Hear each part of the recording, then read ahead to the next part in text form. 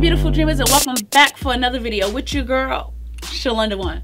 Okay guys, so I've been shopping, I've been shopping and so I've been hitting up Ulta real hard. In this video, I kind of just want to do, walk you through some of the things that I have gotten, you know, how I feel about them initially, after using them, what my impressions are now, so forth and so on, and all that good stuff. But if this is your first time here, first of all, welcome to the Beautiful Dreamers channel. And then I definitely encourage you to go ahead and subscribe if you have not done so already. And definitely click the bell right next to it so you never miss another video with your girl, Shlinda One. Because over here, we do all types of crazy stuff. And you do not want to miss another video. While I'm saying this, I just want you to know that my eye is running and it's driving me crazy. As far as you need to know that. Okay, so like I said, I've been at Ulta I've been shopping. I picked up some things up last few weeks. So none of this is a first impression. These are just me sharing the things that I have been picking up and wearing and testing out. And these are my impressions. These are just, you know, my little two cents on each one of them. First thing is the Super Stay 24, no, the Maybelline Super Stay Full Coverage Foundation. This is not new. I have reviewed this already on my channel. However, I did misspeak in that video because I believe I said that the 360 or 355. I forget which one I said in that video was the darkest shade and that was totally incorrect. And I did put that in the description box, which is why I always encourage everyone to read the description I put it right at the top. That's not the point. It's all right. I did decide to go back and actually pick up the very darkest shade. And this color is in 362 Truffle. And I've been wearing this over the last few weeks and I have it on right now. And out of all the colors this one definitely works the best for my skin shade. What I have to say about it is that it definitely in my opinion has a little bit more yellow in it than red. At least that's the way it reads on me than the 360 mocha. I feel like mocha had a little bit of red in it. But the truth is these uh both of these colors actually don't they're not heavy in the red side which is why I to me I think it's fantastic. This one works much better for me I definitely will say. However I come to find and it's very full coverage so nothing I said in that review is different than how I feel now. However I have been wearing this very differently. Um one I definitely put an illuminating primer on underneath it. And then to be honest with you I like to add a little bit of oil to this just to kind of soften it up a little bit because it can go on very harsh. And when I say harsh, harsh is not the right word, but it can go on very full coverage. And if you not if you're not careful, it can get cakey on you real quick, real fast, especially if you just pile it on. But I find after adding a little bit of oil, it really helps soften the foundation a lot and it goes on so much nicer as if it was a high-end um, foundation that you get from the drugstore. So I must say that one, this color is much better for me.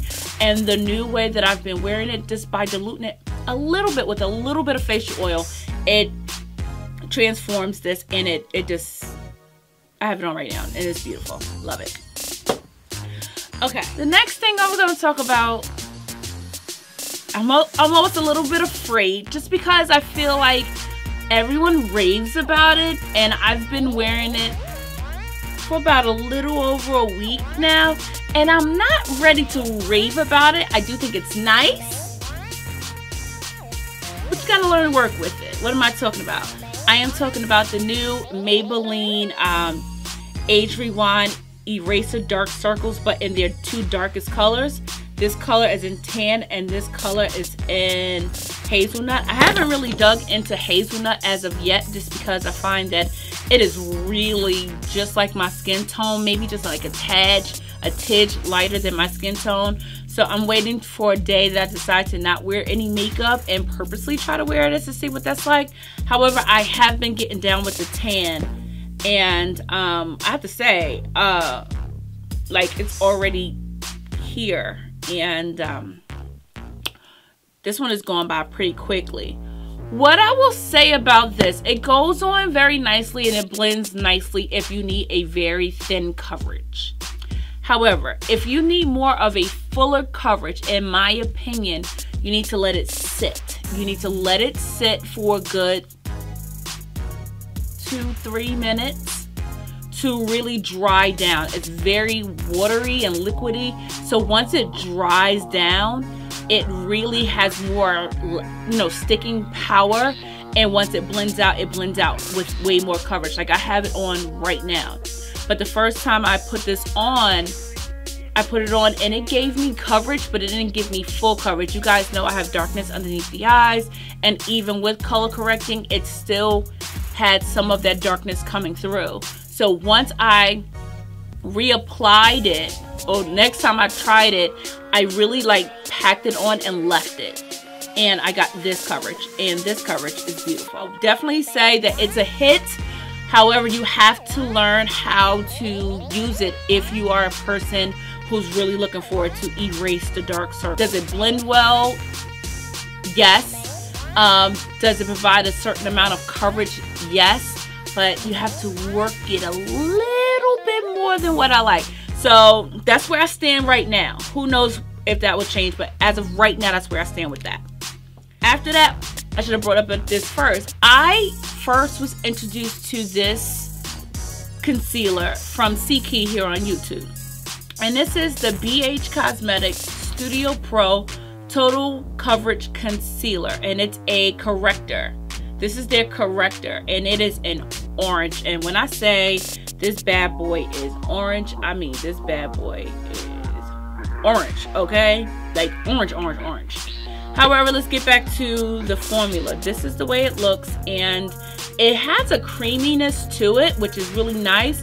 But once again, I feel like this is something that you have to let dry down a little bit before you really blend it out. Now, what I will say is a little bit goes a very long way because it is like, I think my camera is really not showing you how neon orange this is. That looks very regular orange. Orange, like it's a, like a neon orange and it goes a very long way and it, that can almost be too heavy for some, a lot of people. However, it definitely can be used and once you allow it to sit for a while and really kind of like build its staying power and then blend it out, it does a really, it does a pretty decent job. So I'm not mad at this. I did pick this up from Ulta. I do not remember how much, but um, I try to put it on the screen, but I really like it. I have to say, it's definitely, it has not replaced my favorite, but it's definitely one that I would use to reduce the amount of times that I use my Smashbox. Does that make sense? Like it's one that now that I've been wearing it for over a week and I really know how I've played with it and I know how to apply it, I would use this on more of a daily basis or when I'm filming versus using that because that is not cheap. Okay. So I picked up two palettes. I picked up a palette, two palettes from Revolution. And I picked up the Revolution Iconic Division here. And I picked up the Revolution Iconic Fever. Um, I don't know if this looks very similar, familiar to you, but this is, I'm guessing, supposed to be an actual dupe for the Subculture palette from Anastasia. This is what that looked like. And if you just look, those colors are dupes for the next color. So this palette has 14 shades in it and this palette has 15 and all they did was add a, a ashy black to this palette.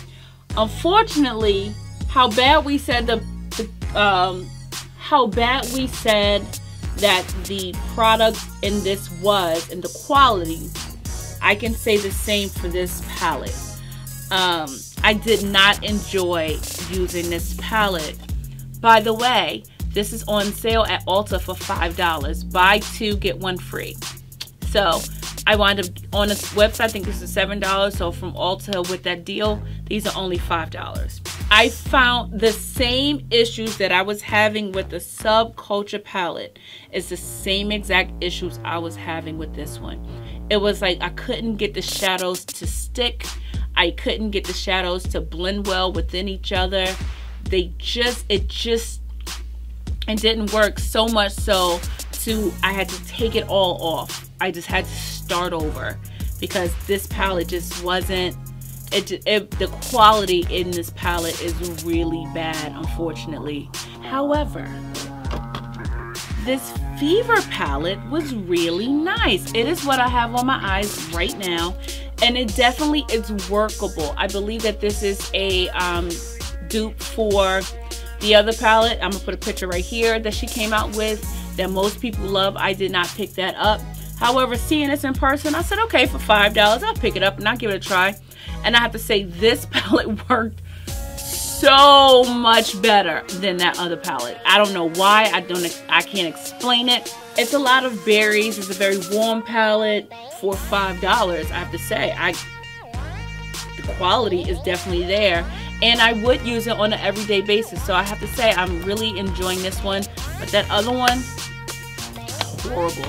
Next, I finally got my damn hands on these highlighters that everyone has been raving about. it. And these are the Maybelline Master Chrome highlighters. I got it in Molten Gold and Molten Rose Gold.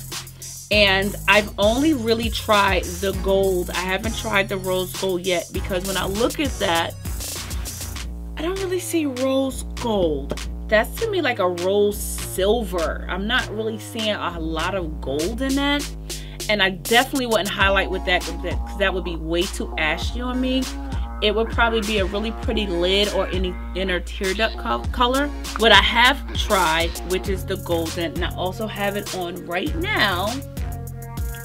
And what I can say is, I don't love it as much as you guys do. I don't, and I don't know why. Um, one, it has a ton of glitter and shimmer and like it's beaming. And though that is pretty you can put this you know like you can like really take the highlighter to another place if you really want to just make sure you have that pop that it will do. But for my dark skin I like more of a bronzy gold to really complement my skin versus this one. I feel like this is a little uh, silver than gold. Well, I see silver gold. So, mm, can you work with it? Yes. Can you layer it? Yes. Can you tone it down? Yes. But I still feel like, I don't know if you can really see, it's a lot of glitter in that. So I would only wear this, definitely not on an everyday basis, nowhere near on an everyday basis. Maybe for a nighttime look, and I know I'm going to be in a dark room or a dark atmosphere and I still want my highlight to have something to say, that is when I would probably use this. However, I think it's great to even be able to go to the drugstore and pick something up like this with this type of quality. I think that's amazing. I'm here for it all day, every day. But that doesn't change how I feel I would use it personally. Next thing, and the last thing that I got from Ulta is I picked up the Maybelline Superstay Matte Ink uh, lip sticks or lip creams because it definitely feels more like a cream and this is what I have on right now. And all I'm gonna say is I didn't know. Who knew I was gonna fall in love with these so much? I really really enjoy these. So the first one I picked up was in the color 75 which is fighter I mean that orange. You know me you know I was picking this up. And then I went back and because I was looking for something a little bit more nuder. And in the store, this is giving me very nude. However, I have this on right now and it looks just as orange as the other one. Really, in the store, they look totally different. But at home, I'll be honest with you, you use one, you don't need the other. So I am definitely going to go back and pick up more. I love the consistency of these lip I'm going to call it a lip cream because that's what it feels like. It gives you a matte finish without the lips that are dry. I've worn this for hours and it just keeps my lips just nice and moist. I love, love, love, love, love them. I don't usually pick up a lot of lip products from the drugstore. I am a huge fan of these. Those are my opinions of these products. Out of everything I've shown, what I've really, really kind of really vibe with that I think are kind of like must-haves is definitely this palette. I like this palette. It's very inexpensive. It works. The quality is pretty decent. The pigmentation is really decent. You can't go wrong with it. And it's $5 right now. If you take advantage of the Ulta, if you take advantage of the Ulta deal right now, buy two, get one free. You can't beat it. Really, really enjoyed the lip creams. I'm, I'm gonna call them, they call them matte inks. I'm gonna call them lip creams because it just goes on so creamy and beautiful and I'm a huge fan of that. The chrome is definitely something that I believe that we all need to put into our collection. I believe that they will you will find a time to wear it. I don't feel like it's necessary I don't feel like it's appropriate for like an everyday. It's a bit much, but glad I do have it. You definitely must get your hand on the um the foundation.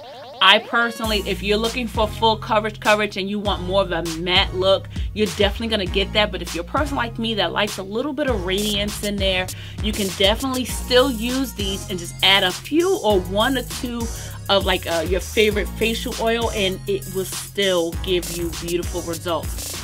I love a foundation that you can add some stuff or deduct some stuff or you can figure out a way to taper it to your personal preference and it still performs excellent not all foundations can do this. I hope that you enjoyed this type of video. I actually have fun with this instead of just reviewing it and just giving you my opinion, but I really played with these things all week and really had a good time getting to know these products and I can tell you what's good, what's bad, what to keep away from and all that different stuff. So I actually enjoyed this. This was a good one. Guys, thank you so much for watching this video. If you haven't done so already, please say it with me, my love. Rate, comment, and subscribe. And you definitely want to subscribe so you never miss another video with your girl, Shlinda One. Be sure to click the bell so you don't do that. You don't want to miss another video. You become a, a part of the notification squad. I love you guys so much. Please remember, you are bold, you are beautiful, and most importantly, you are blessed, my sister. And don't you let anything or anyone tell you anything differently. I will see you guys in the very next video. I love you guys. Bye, guys question of the day. Out of everything I show here in this video, what's that one thing that you want a full dedicated video on? Out of everything I show here, you have one. What's that one thing that you want to know a little bit more about? Leave it in the comments below. I love you guys. Bye.